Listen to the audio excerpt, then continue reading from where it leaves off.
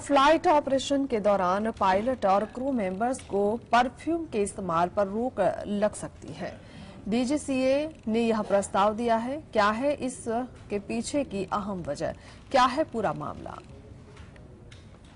भारत में पायलट और flight crew members के परफ्यूम के इस्तेमाल पर रोक लग सकती है। डीजीसीए ने ये प्रस्ताव रखा है। अगर इसे मंजूरी मिल जाती है तो उड़ान के दौरान पायलट और फ़्लाइट क्रू मेंबर्स को परफ्यूम लगाने की अनुमति नहीं मिलेगी। जो लोग ऐसा करते पाए जाएँगे, उनके ऊपर डीजीसीए कार्रवाई कर सकता है। रिपोर्ट के अनुसार परफ्यूम के अलावा उन दवाओं और माउथ वॉश के प्रोडक्ट्स पर भी रोक लगाए जाने का प्रस्ताव दिया गया है, जिसमें अल्कोहल मौजूद होता है। इन प्रोडक्ट्स के कारण ब्रेथ अलाइजर पर टेस्ट पर असर दिख सकता है।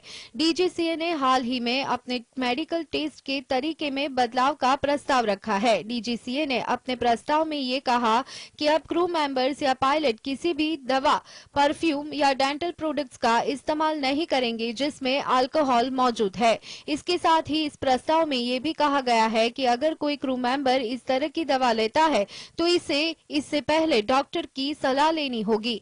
परफ्यूम में थोड़ी मात्रा में अल्कोहल मौजूद होता है। भारत में एयरलाइंस पे पायलट और क्रू मेंबर्स के लिए शराब से जुड़े रूल्स बहुत सख्त है। Bureau report GSTV